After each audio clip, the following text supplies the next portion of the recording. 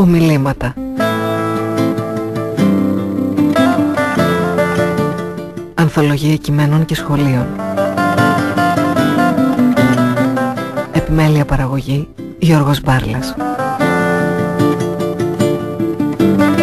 Φίλοι ακροατές, καλώς ήλθατε στα ομιλήματα.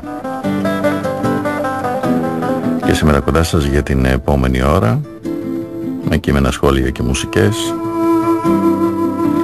τα τηλέφωνα μας 210 41 18 602 και 210 41 18 640 στα τηλέφωνα η Φίβη Κωνσταντέλου τον οικοφροντίζει ο Δημήτρης Γερονιμάκης θα συνεχίσουμε να μιλάμε και σήμερα για τον ε, θυμό και την οργή από το περιοδικό του Ιερού Ναού Παμεγής των Ταξιαρχών Μοσχάτου καλοκαίρι 2019, τεύχος 21ο. Ο τίτλος ε, του περιοδικού Αρχαγγέλων Λόγος και υπεύθυνος ο πατήρ Χριστόδουλος Μπίθας.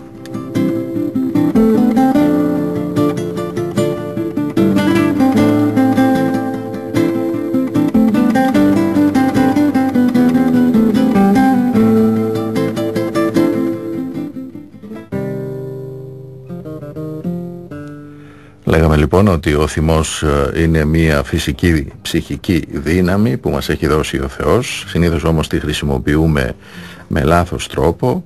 Εκνευριζόμαστε με ό,τι χαλάει την καλοπέρασή μας ας πούμε. Ε, σπανίως ε, θυμώνουμε για το κακό που υπάρχει στον κόσμο για το κακό που γίνεται εναντίον άλλων ανθρώπων ή ακόμη περισσότερο για τις αμαρτίες που κάνουμε για τα λάθη στα οποία υποπίπτουμε, για τον διάβολο και ούτω καθεξής. Εάν ε, χρησιμοποιούσαμε έτσι τον θυμό, τότε θα έβρισκε τη σωστή θέση του. Διαβάσαμε κάποια κείμενα λοιπόν, ε, πρωτότυπα στο περιοδικό, να δούμε τώρα και κάποιες αναδημοσιεύσεις από πατέρες της Εκκλησίας για το θέμα του θυμού.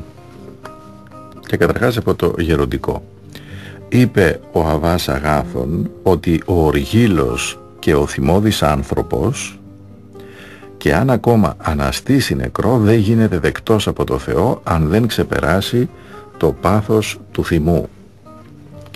Είπε ο Αβάς Πιμήν ότι δεν μπορεί να είναι κανείς μοναχός αν είναι μεμσίμυρος, αν είναι εκδικητικός. Δεν μπορεί να είναι μοναχός κάποιος που οργίζεται. Αυτοί που κατέχονται και λειτουργούν αυτά τα πάθη δεν είναι μοναχοί έστω και αν νομίζουν ότι είναι. Ο Αβάς Υπερέχιος είπε «Εκείνος που δεν μπορεί να συγκρατήσει τη γλώσσα του την ώρα της οργής, αυτός δεν θα μπορέσει να επιβληθεί σε κανένα πάθος του». Ο Αβάς Αμονάς λέει «14 έτη ήμουνα στη Σκήτη και παρακαλούσα το Θεό μέρα και νύχτα να μου δώσει τη χάρη του να νικήσω την οργή». Ο Αβάς Ισαΐας λέει «Αδελφέ, αν κάποιος σε στενοχωρήσει σε κάτι και βλέπεις ότι χρειάζεται να κάνεις κάποια νήξη για αυτό το θέμα στον αδελφό, αν βρίσκεσαι κάτω από την επίρρεια της οργής και είσαι ψυχικά αναστατωμένος, καθόλου να μην του μιλήσεις για να μην ταραχτείς περισσότερο. Αλλά όταν διαπιστώσεις ότι και εσύ και αυτός έχετε ηρεμήσει, τότε μίλησέ του, όχι με τρόπο ελεγκτικό, αλλά σαν να του υπενθυμίζεις το σωστό και αυτό να το κάνεις με πολύ ταπείνωση. Ο Άγιος Μάξιμος μας εξηγεί το βάθος των πραγμάτων και λέει «Ο θυμός όταν συνεχώς λειτουργείται από τον άνθρωπο κάνει την ψυχή δειλή και άνανδρη. Θεραπεύεται με την καλοσύνη, τα φιλάνθρωπα βιώματα προς τον αδελφό, την αγάπη και την ευσπλαχνία».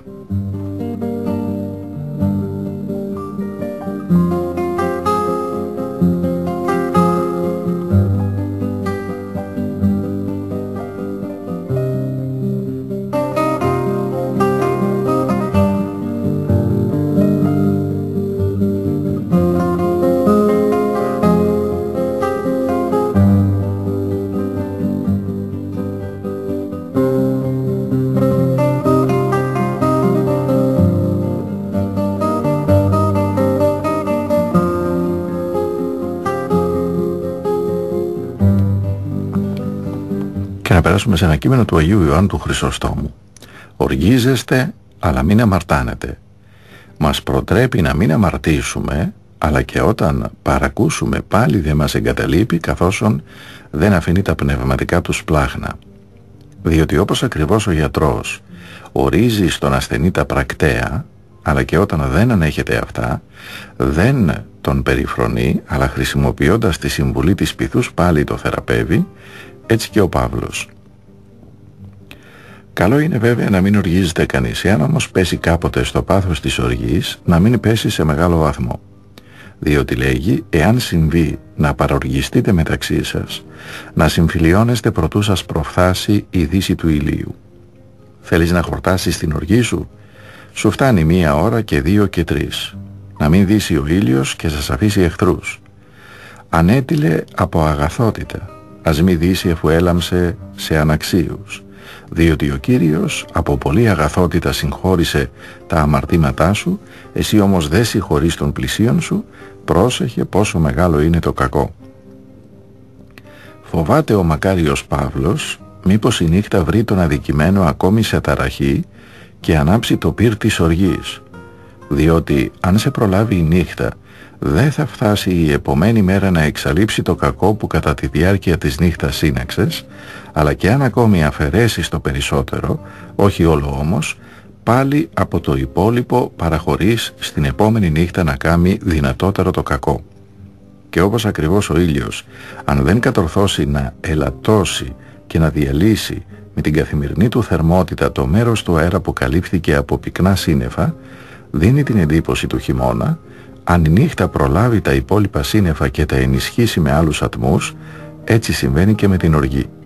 Μη δίνετε τόπο στο διάβολο, διότι ποτέ δεν έχει τέτοια ευκαιρία ο διάβολος όσο κατά τη διάρκεια των εχθροτήτων. Γι' αυτό παρακαλώ ας κάνουμε τα πάντα ώστε να διαλύονται τα μίση προτού να δύσει ο ήλιος διότι αν δεν νίκησες κατά την πρώτη και την επομένη μέρα το μίσος, πολλές φορές το διατηρεί σε ολόκληρο το έτος και αυτό μεγαλώνει πλέον μόνο του και δεν έχει ανάγκη κανενός. Και τα λόγια τα κάνει να τα εννοούν διαφορετικά και τα προσχήματα και οτιδήποτε άλλο τα καθιστά θηριώδη και εξαγριώνει και δεν ανέχεται ούτε το όνομα να πει, ούτε να ακούσει, αλλά εξτομίζει ύβρις. Πώς λοιπόν θα καταπραίνουμε το θυμό; Αν κατανοήσουμε τα αμαρτήματά μας και πόσο είμαστε υπεύθυνοι απέναντι στο Θεό, αν κατανοήσουμε ότι δεν υπερασπιζόμαστε τον εχθρό αλλά τον ίδιο τον εαυτό μας, αν καταλάβουμε ότι εφραίνουμε τον όντως εχθρό. Θέλεις να είσαι μνησίκακος και εχθρός, να είσαι εχθρός όχι του δικού σου μέλους, του πλησίον, αλλά του διαβόλου. Γι' αυτό ο Θεός μας όπλησε με θυμό για να μην στρέφουμε το ξύφος εναντίον των δικών μας σωμάτων, αλλά για να βυθίζουμε ολόκληρη τη μάχαιρα στο στήθος του διαβόλου. Αυτό θα συμβεί όταν σπλαχνιζόμαστε τον εαυτό μας, όταν συμπεριφερόμαστε ειρηνικά μεταξύ μας. Ας χαθούν τα χρήματα, ας χαθεί η δόξα και η υπόλοιψη, το δικό μου μέλος είναι τιμιότερο από όλα αυτά.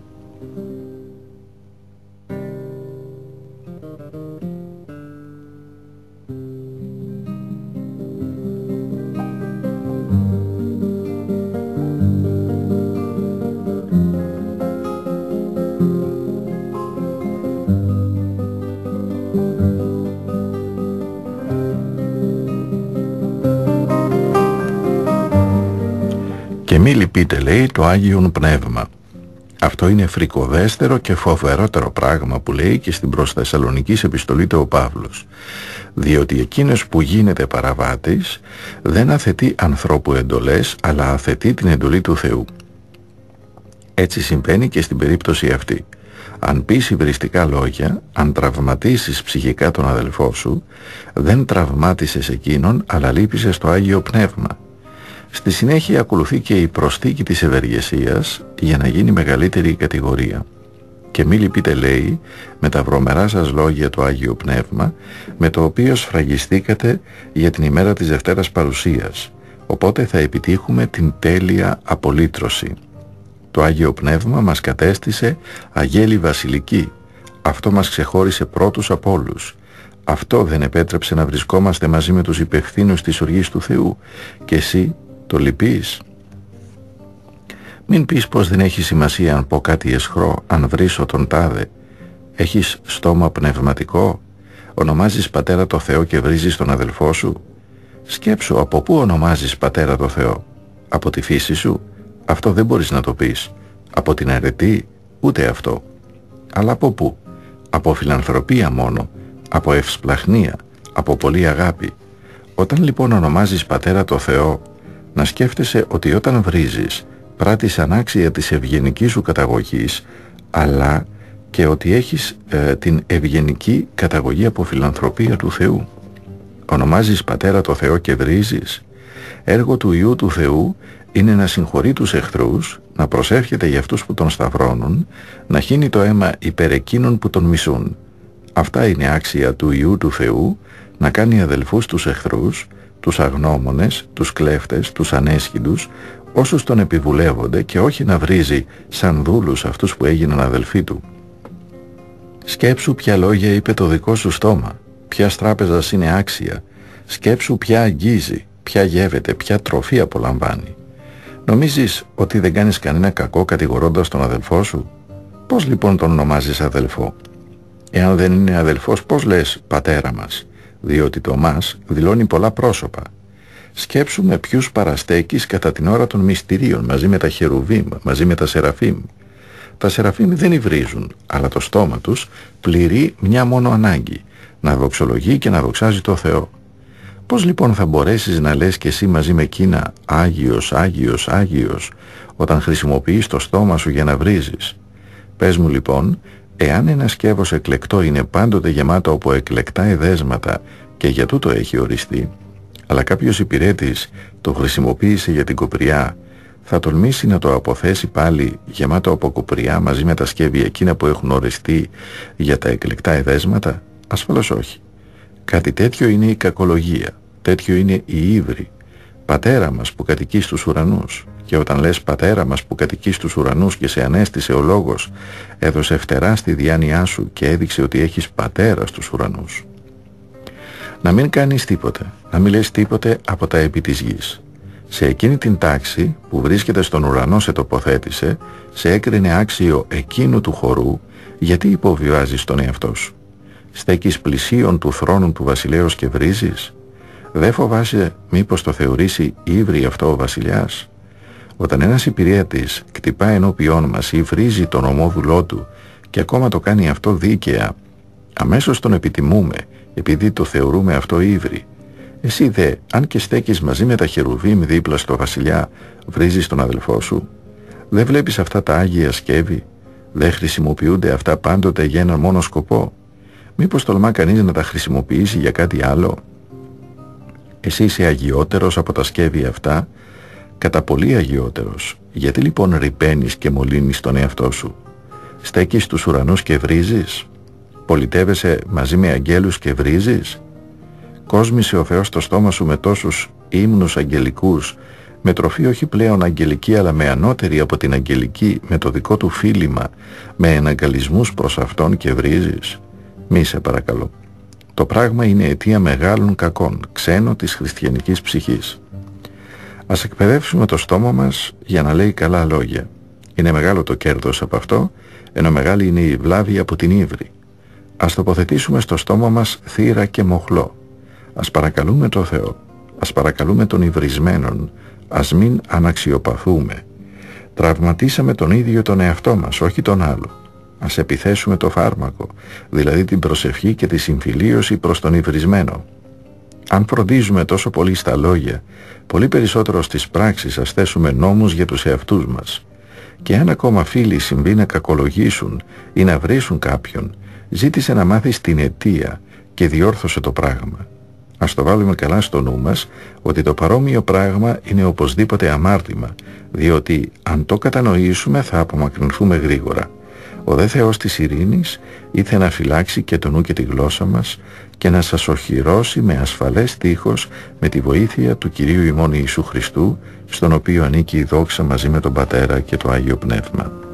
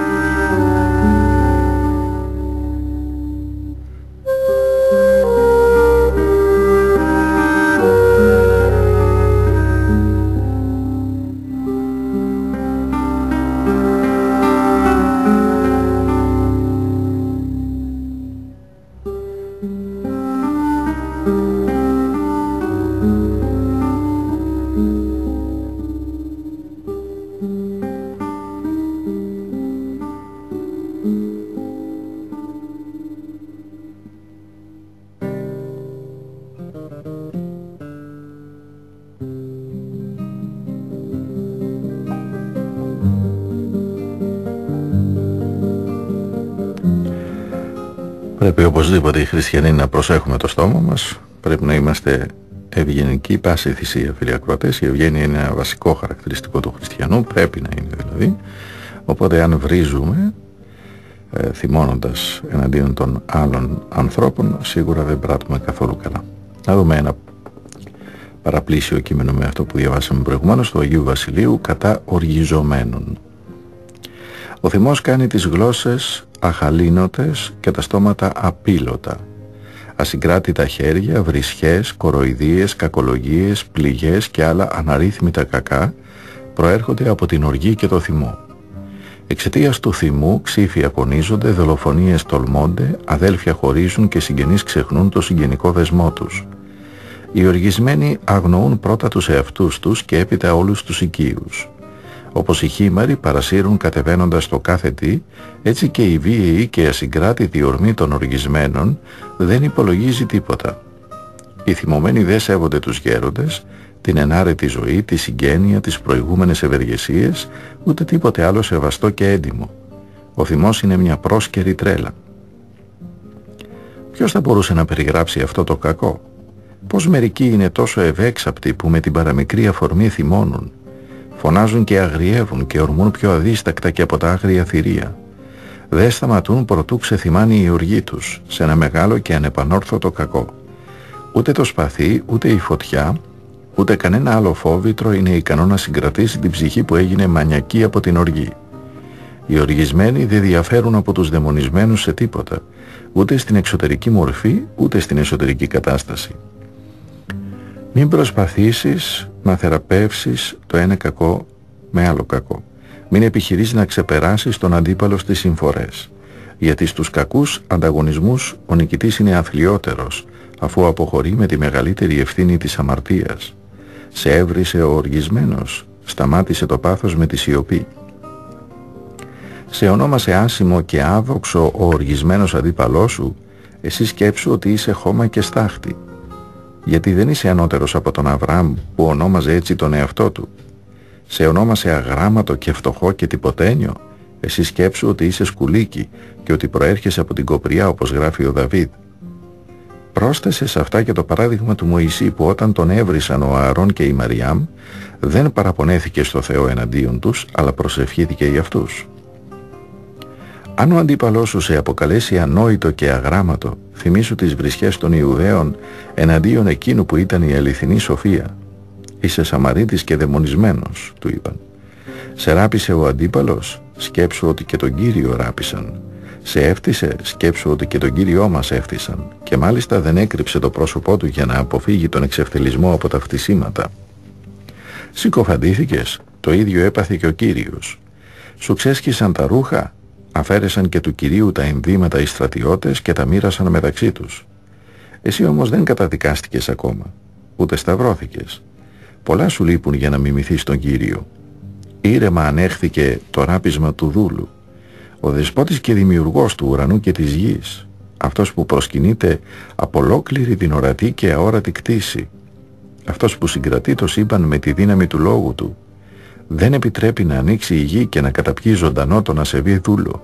Ούτε το στέλνει στον άδει, αλλά τον ουθετεί και τον διδάσκει. Αν είπα κάτι κακό, πες ποιο ήταν αυτό. Αν όμως μίλησα σωστά, γιατί με χτυπάς;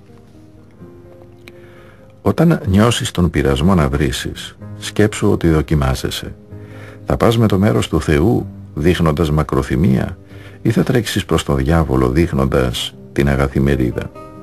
Γιατί ή θα ωφελήσεις και τον αντίπαλο ακόμα με το παράδειγμα της πραότητός σου ή θα ζημιωθείτε και οι δύο με τον εγωισμό σου. Δυο πράγματα κι εσύ να αποφεύγεις. Να μην θεωρείς τον εαυτό σου άξιο για επένους και να μην νομίζεις κανέναν κατώτερό σου. Με τον τρόπο αυτό ποτέ δεν θα ανάψει μέσα σου ο θυμός για τις προσβολές που σου γίνονται. Τον θυμό σου να τον στρέφεις εναντίον του ανθρωποκτόνου διαβόλου, που είναι ο πατέρας του ψεύδους και ο πρόξενος κάθε αμαρτίας να είσαι όμως πλαχνικός με τον αδελφό σου. Ο θυμός είναι μια έντονη έξαψη και ένα ξέσπασμα του πάθους, ενώ οργή είναι μια μόνιμη λύπη και μια διαρκή στάση για εκδίκηση, σαν να φλέγεται η ψυχή από τον πόθο να ανταποδώσει το κακό. Οι άνθρωποι αμαρτάνουν και με τις δύο καταστάσεις. Άλλοτε ορμούν απερίσκεπτα να κτυπήσουν όσους τους προκάλεσαν και άλλοτε καιροφυλακτούν δόλια να εκδικηθούν όσους τους λύπησαν. Εμείς και τα δύο πρέπει να τα αποφεύγουμε. Αν συνηθίσεις να είσαι ο έσχατος σύμφωνα με την εντολή του Κυρίου όποιος θέλει να είναι ο πρώτος θα πρέπει να γίνει ο τελευταίος από όλους υπάρχει περίπτωση να αγανακτήσεις στις άδικες κατηγορίες; Όταν σε βρίζει ένα μικρό παιδί θεώρησε τα λόγια του σαν αφορμή για γέλιο. Αλλά και όταν κανείς μεγάλος κυριευθεί από μανία και ξεστομίζει ατιμωτικά λόγια να τον θεωρείς άξιος συμπάθειας μάλλον παρά μίσους δεν είναι τα λόγια που μας λυπούν είναι η υπεροψία μας απέναντι στον ιδρυστή και η μεγάλη ιδέα που έχουμε για τον εαυτό μας αν λοιπόν αφαιρέσεις από μέσα σου αυτά τα δυο τότε τα λόγια μόνα τους είναι ένας κούφιος θόρυβος αν με τη σύνεση μπορέσεις να κόψεις την πικρή ρίζα του θυμού θα ξεριζώσεις μαζί της πολλά άλλα πάθη γιατί η δολιότητα, η υποψία, η θρασίτητα, η απιστία, η κακοήθεια, η επιβολή και όλα τα συγγενικά πάθη είναι γεννήματα αυτής της κακίας. Ας μην κρύβουμε μέσα μας ένα τόσο μεγάλο κακό. Είναι η αρρώστια της ψυχής, σκοτίνιασμα του νου, αποξένωση από το Θεό, αιτία φιλονικίας, αφορμή συμφοράς, πονηρό δαιμόνιο που κυριαρχεί στην ψυχή και αποκλείει την είσοδο του Αγίου Πνεύματος. Γιατί όπου είναι έχθρες, φιλονικίες, θυμοί, φατρίες, διαμάχες που διαρκώς ταράζουν την ψυχική γαλήνη, εκεί το πνεύμα της πραότητος δεν αναπαύεται. Ας συμμορφωθούμε λοιπόν με την εντολή του Αποστόλου Παύλου. Διώξτε μακριά σας κάθε δυσαρέσκεια, θυμό, οργή, κραυγή, κατηγόρια, καθώς και κάθε άλλη κακότητα. Προς Εφεσίους 4.31 Και ας περιμένουμε την εκπλήρωση της υποσχέσεως που έδωσε ο Κύριος στους πράους. Μακάρι είναι οι πράοι, γιατί αυτοί θα κληρονομήσουν τη γη της επαγγελίας.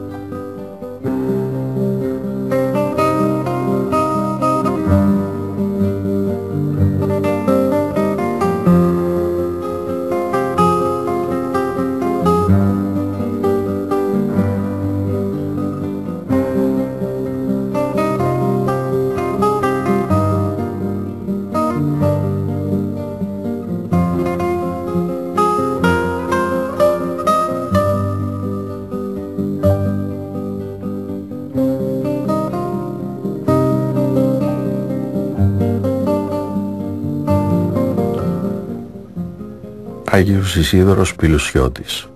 Το να αμήνεται κανείς δεν είναι άδικο, αλλά δεν είναι και φιλοσοφημένο. Σκέψου αν θελήσει κανείς να αμυνθεί, τι χρειάζεται να πάθει. Πρώτα τον πλημμυρίζει ο θυμός και μετά τον διαλύει η οργή.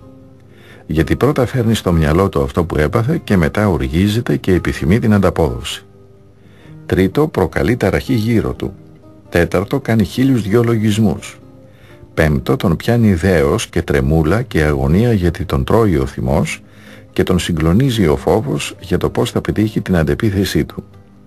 Δεν σου φαίνεται λοιπόν πως τιμωρείται αυτός ο ίδιος πριν τιμωρήσει τον άλλον; Ενώ αυτός που φιλοσοφεί απαλλάσσεται από όλα αυτά. Φυσικά. Είναι κύριος της κατάστασης και εκεί τελειώνει το πράγμα.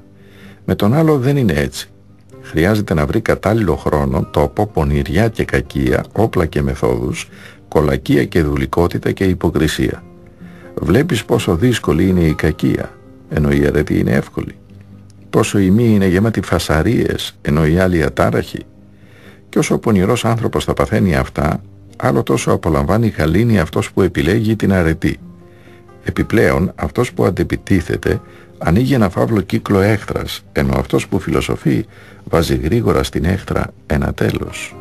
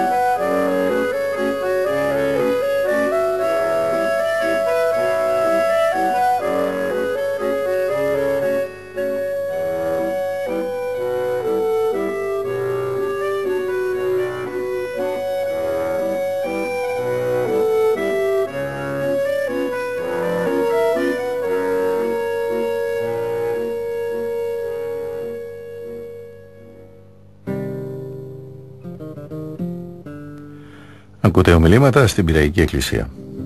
Μιλάμε για το θυμό και το πώς πρέπει να συγκρατούμε αυτόν έτσι ώστε να είμαστε άνθρωποι ήρεμοι, γαλήνοι και επομένως χαρούμενοι. Είπαμε ότι τα πάθη φέρνουν δυστυχία στον άνθρωπο. Οι εντολές του Θεού αντίθετα παρότι είναι δύσκολο να τις στηρίσουμε οδηγούν στην ευτυχία, οδηγούν στη χαρά, οδηγούν στη συνάντηση με το Θεό μέσα στις εντολές του Θεού κρύβεται ο ίδιος ο Θεός και επομένως το να είμαστε πράοι είναι ένα χάρισμα πρώτα απ' όλα από τον ίδιο το Θεό αλλά πρέπει και εμείς αρχικά να προσπαθούμε να μην λέμε ό,τι μας κατεβαίνει στο κεφάλι. Και να περάσουμε σε ένα άλλο κείμενο περί αοργησίας του Αγίου Ιωάννου του Σιναήτη πάντα από το περιοδικό Αρχαγγέλων Λόγος. Αοργησία σημαίνει ακόρεστη επιθυμία για ατιμία όμοια με την απέραντη επιθυμία των καινοδόξων για έπαινο. Αοργησία σημαίνει νίκη κατά της ανθρώπινης φύσεως, που φαίνεται με την αναισθησία απέναντι στις ύβρις και που αποκτάται με αγώνα και υδρότες. Προφανώς δεν είμαστε σε αυτό το επίπεδο φιλιακρότες. Πραότητα σημαίνει να παραμένει ακίνητη και ατάραχη η ψυχή τόσο στις ατιμίες όσο και στους επένους. Η αρχή της αοργησίας είναι να σιωπούν τα χείλη ενώ η καρδιά βρίσκεται σε ταραχή. Εδώ βρισκόμαστε νομίζω.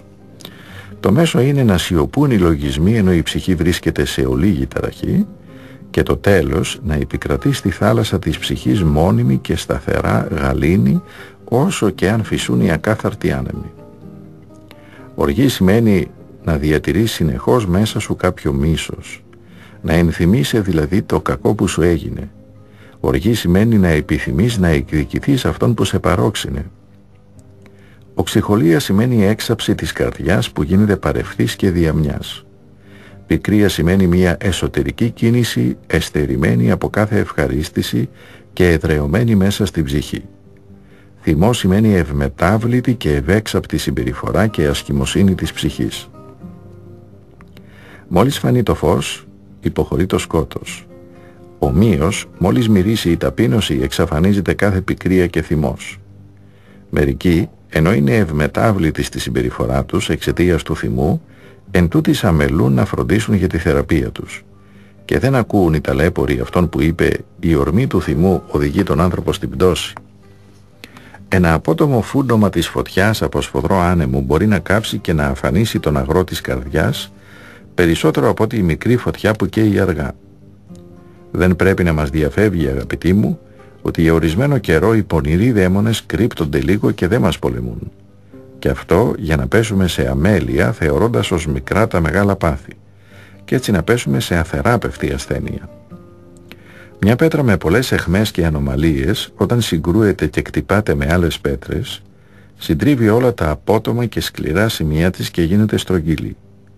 Ομοίως και μια θυμώδης και απότομη ψυχή όταν συναναστρέφεται και συζεί με σκληρούς και θυμώδεις ανθρώπους, υφίσταται ένα εκ των δύο.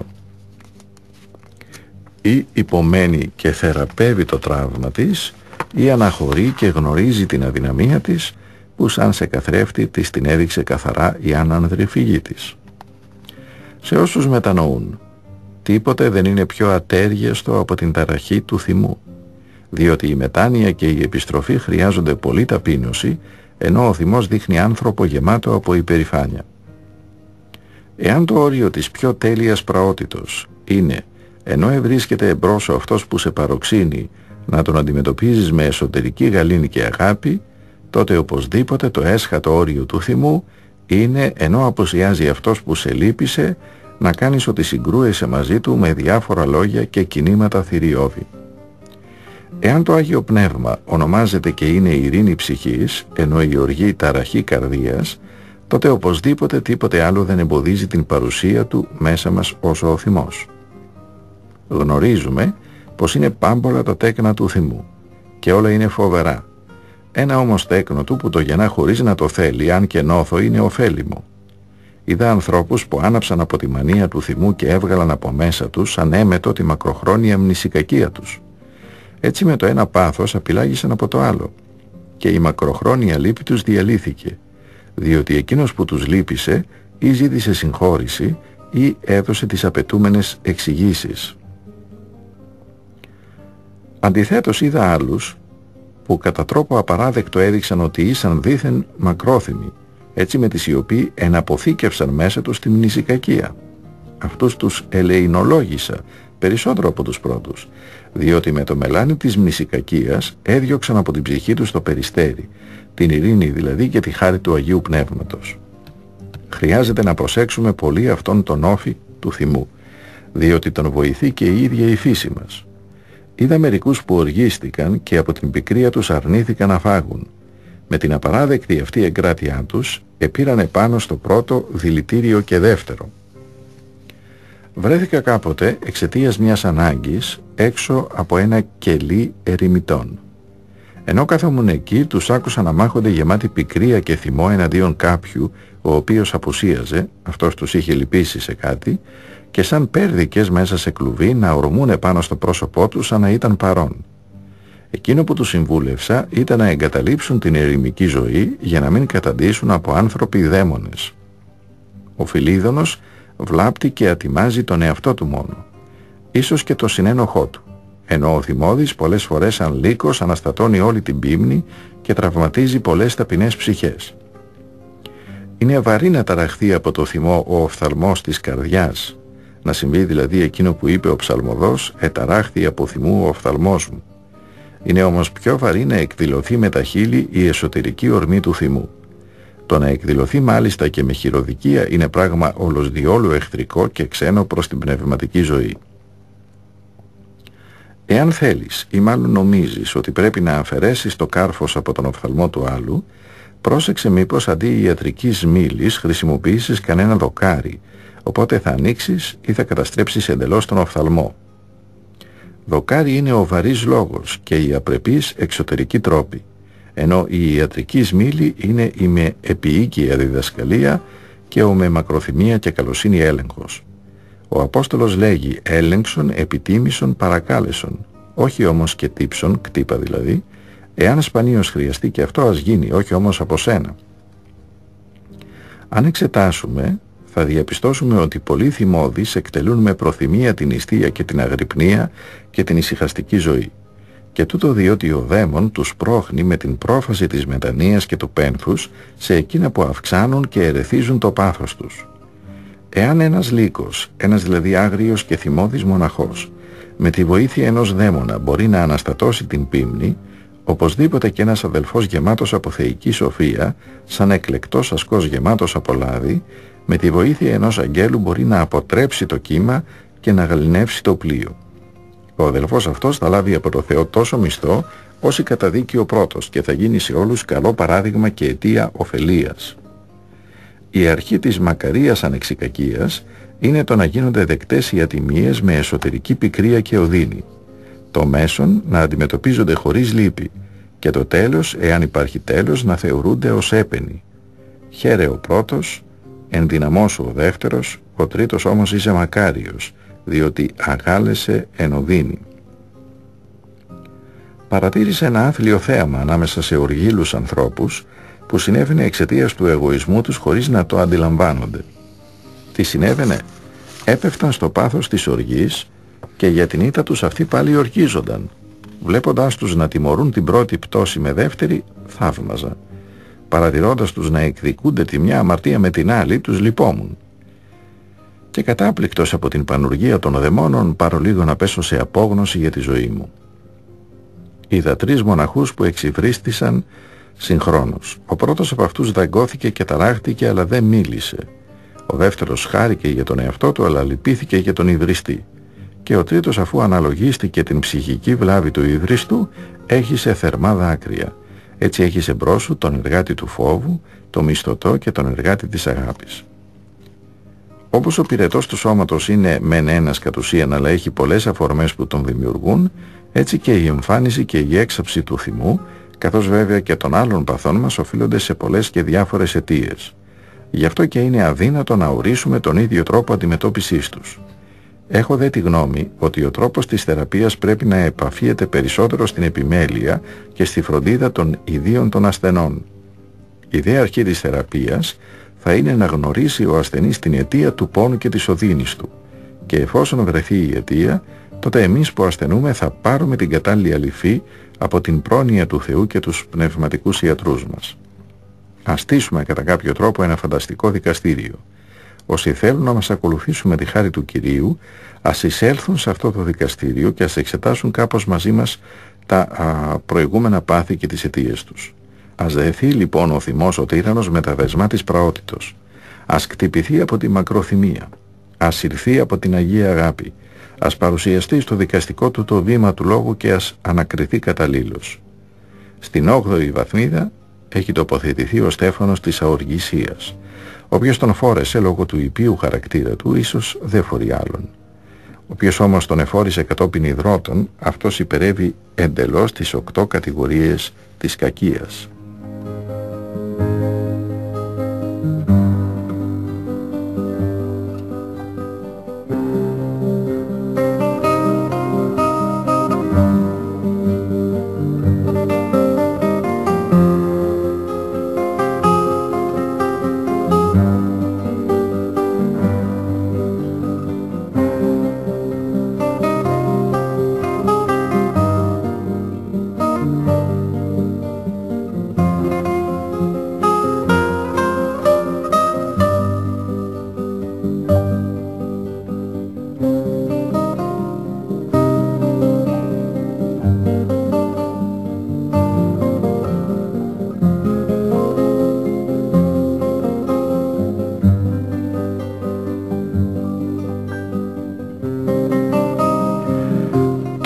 Τελειώσουμε με το περιμνησικακίας του Αγίου Τύχωνος Επισκόπου Βορονές.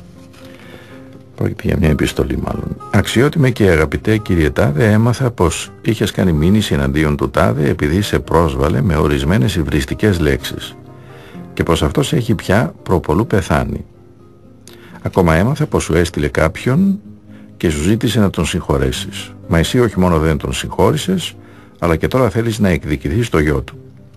Αν αυτά αληθεύουν, σε παρακαλώ να με ακούσει με υπομονή και να κάνεις αυτό που θα σου είπω.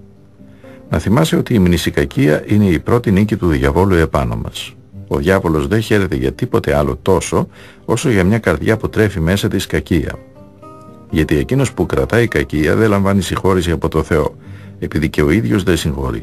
Αυτό διδάσκει ο Χριστός. Εάν μη αφείτε της ανθρώπης τα παραπτώματα αυτών, ουδέ ο πατήρ ημών αφήσει τα παραπτώματα ημών. Και πώς θα προσευχηθεί στο Θεό λέγοντας άφηση μην τα οφειλήματα ημών, ως και εμείς αφίεμε τις οφειλέτες ημών, εάν εσύ ο ίδιος δεν συγχωρείς. Ο αδελφός μας και εμείς είμαστε το ίδιο. Μας πρόσβαλε με τα λόγια του, μας εξύβρισε και εμείς τι είμαστε, χώμα, στάχτη.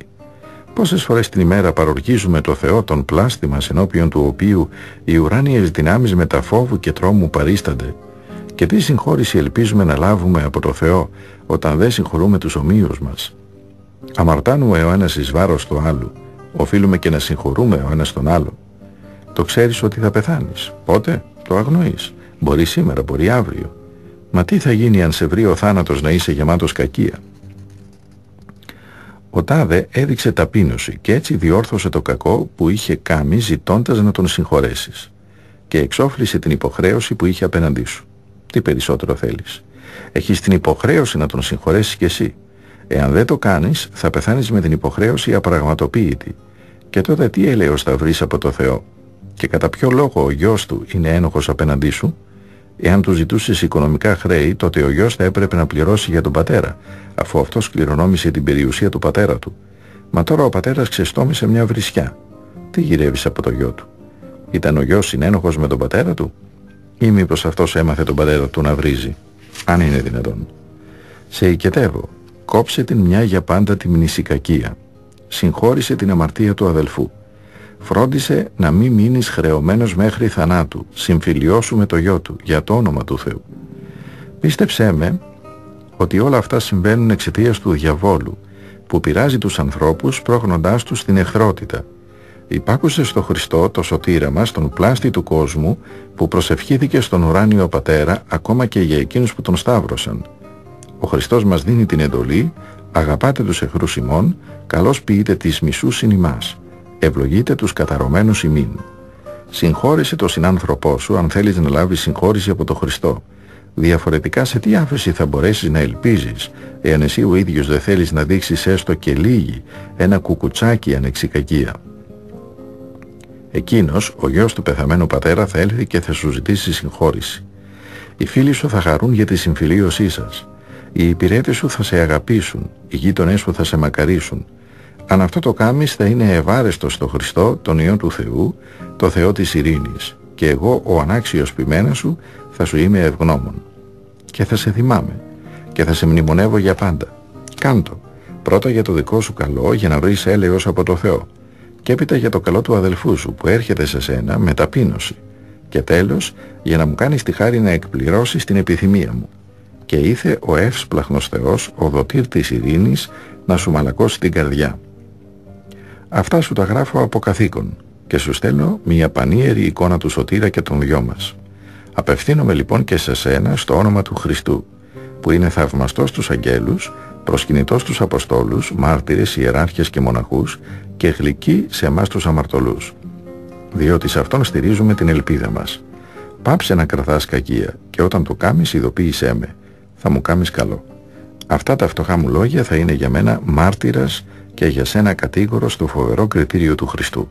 Και αν κανείς σε συμβουλεύσει αλλιώς, μη δίνεις προσοχή, γιατί τα λόγια του θα προέρχονται από το πονηρό. Διάβασε το Ευαγγέλιο και θα το διαπιστώσεις.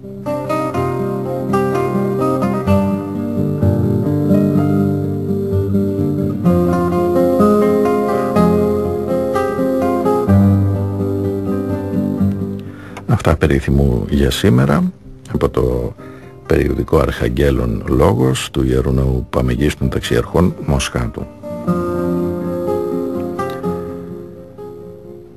Θα θυμώνουμε, είναι βέβαιο φίλοι ακρότες, όλοι μας, ωστόσο πρέπει να συγκρατούμε τον θυμό μας, μιας και δεν έχουμε φτάσει ακόμα στις ανώτατες βαθμίδες της πνευματικής ζωής για τις οποίες διαβάσαμε και σήμερα ειδικά από την κλίμακα και τον λόγο του Αγίου Άννου του Σιναήτου.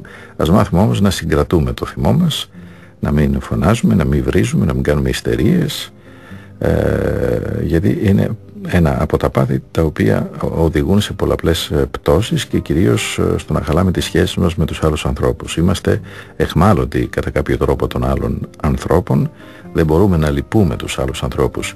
Οι χριστιανοί μπορούμε να διαφωνούμε, μπορούμε να μιλάμε με αυστηρότητα όταν χρειάζεται, αλλά πάντοτε με κριτήριο ε, την αγάπη. Δεν γίνεται διαφορετικά.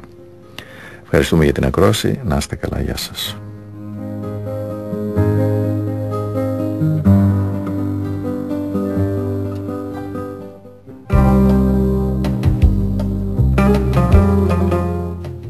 Ομιλήματα